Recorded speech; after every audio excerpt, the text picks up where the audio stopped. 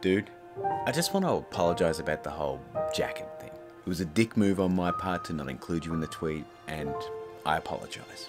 Thanks, dude. Well, I'm sorry I encased you in a glass wall. Oh, please. I would have done the same thing. So, friends? Friends. Hey guys, look what just arrived! Ah, oh, it's so comfy. Look at that stitching. I mean, this is really good quality. You should put yours on. What? Something I said?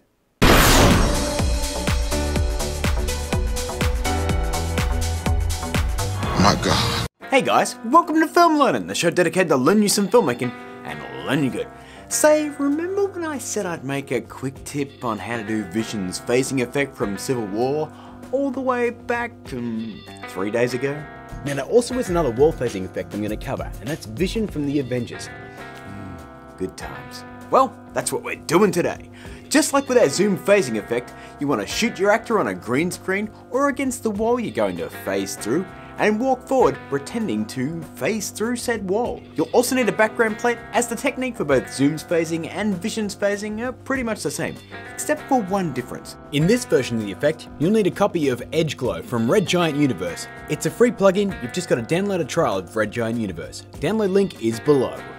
Also, a big shout out to the gang over at Rode. I entered a comp that they had on Twitter for three buddies to win this sweet varsity jacket and a hoodie, and I actually won. So be sure and follow them guys as they're posting new giveaways all the time and you gotta be in it to win it.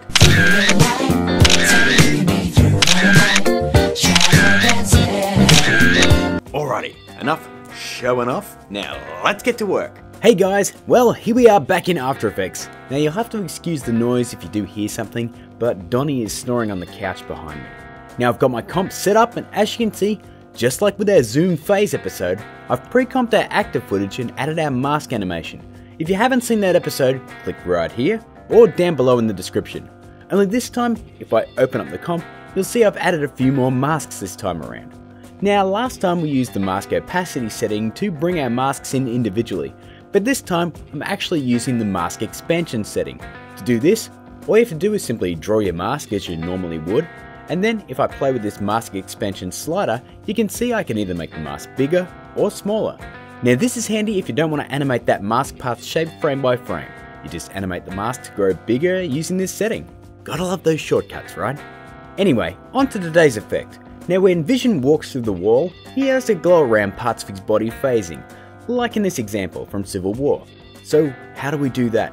Well first off, we have to create the outline around our actor's body as they phase into the shot, which is pretty easy actually. All we have to do is select our pre-animated actor comp, this one right here, head to layer and select auto trace. Now we want to trace the whole shot of our actor, so make sure work area is selected. We also want the channel set to alpha, that way the tracing tool will use our animated masks as reference. Now gang, I've set my tolerance to 0.1 of a pixel, which may slow down your computer and take a long time to render, but on the plus side, it will be more accurate, so just have a little bit of patience.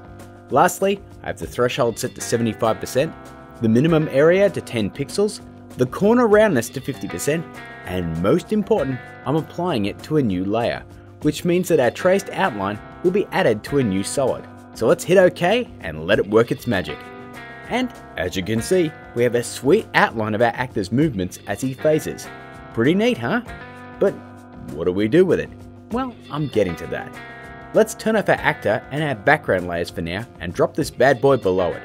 Firstly, we don't need the whole silhouette, just the outline. So let's head to Effect, Stylize and grab Find Edges. Now let's check Invert. Bam! Outline achieved. I think it's safe to turn our actor layer back on now. Next, we gotta make it glow, baby. For this, I'm to use Red Giant Universe's Edge Glow.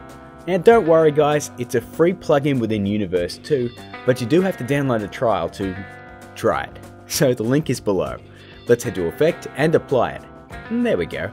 From there, I'm going to leave Edge Detect at 100, change the glow radius to 15, the brightness to 150, we'll then check Colorize and we'll make it a goldy yellow.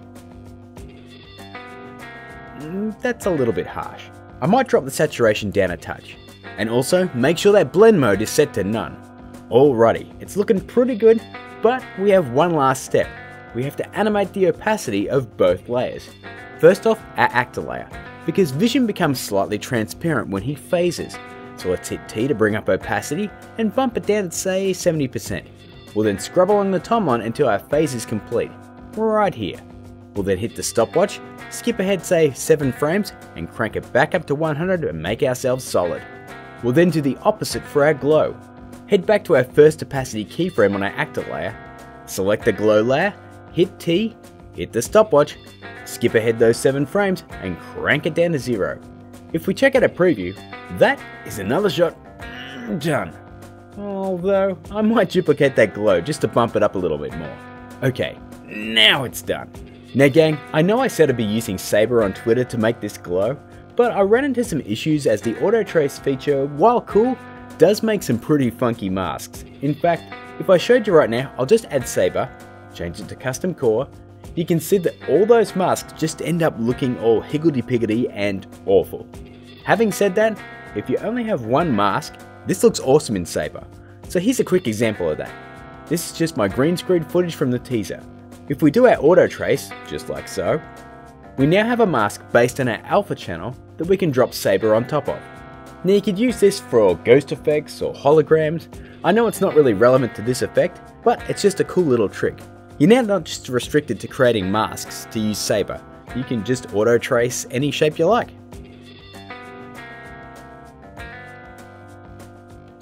My God. Add up all those steps and you get something like this. So, friends?